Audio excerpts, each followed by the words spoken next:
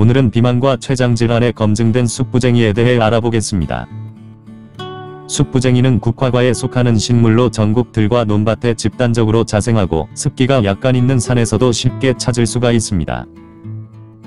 예전 시골이나 절에서는 3, 4월부터 여름까지 새순을 뜯어 산채봄나물로 빠지지 않고 많이 즐겨 먹었으며 부지갱이 나물이라고도 합니다.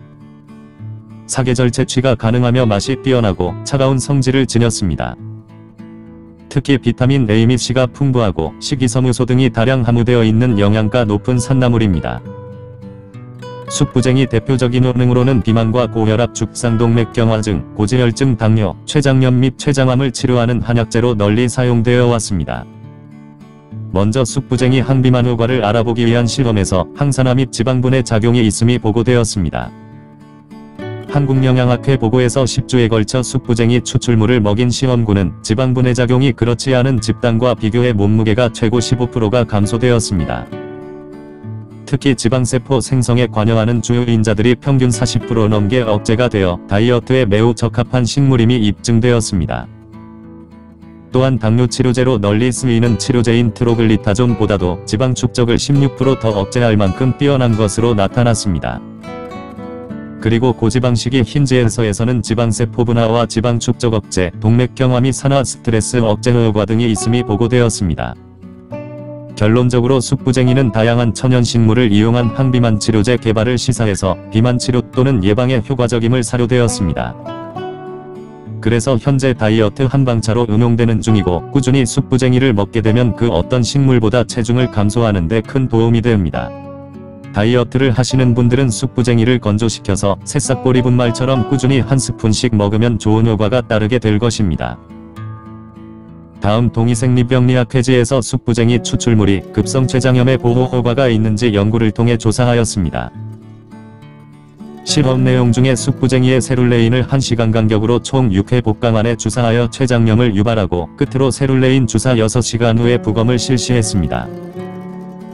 그리고 조직 검사를 통해 혈청 내 성분 활성을 알아본 결과에서 체중에 대한 췌장의 무게 비율과 조직 손상 활성을 유의 있게 감소시켰습니다. 아울러 쑥부쟁이 투여는 발현을 억제 및 중증도를 감소시켰으며 아밀라아제와 리파아제 활성을 억제하였습니다. 결론적으로 쑥부쟁이는 급성 췌장염에 대한 보호제가 될 수 있다는 실험 결과가 밝혀져서 앞으로 치료제 활용도 가치를 높게 시사하였습니다.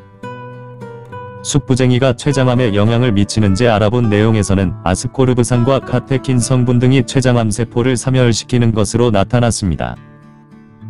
또한 췌장암 치료에서 방사선으로부터 정상적인 세포를 보호한다고 발표를 하기도 했습니다.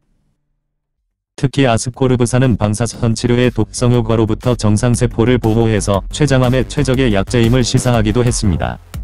쑥부쟁이는 나물로 무쳐 먹는 게 가장 일반적인 방법으로 나물 무침하는 법에 대해 잠깐 알아보겠습니다.